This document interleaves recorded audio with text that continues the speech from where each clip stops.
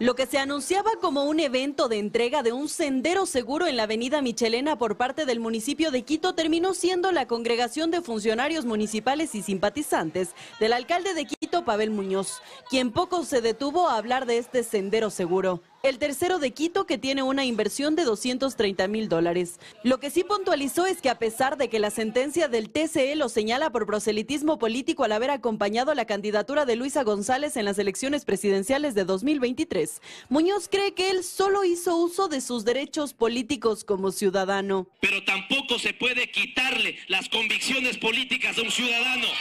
Y por más que uno sea electo, no puede resetearse la cabeza. ¿Qué es lo que quieren?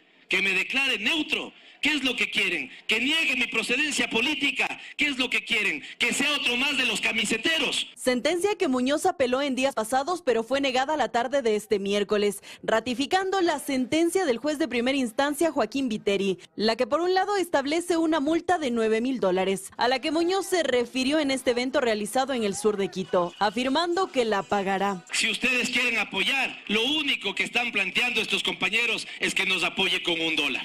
Sobre las disculpas públicas, el burgomaestre no definió cuándo las realizará. Sin embargo, en el evento se refirió al gobierno nacional, a los apagones, a sus cuidarios presentes como asambleístas y a la supuesta persecución que tiene por su ideología política.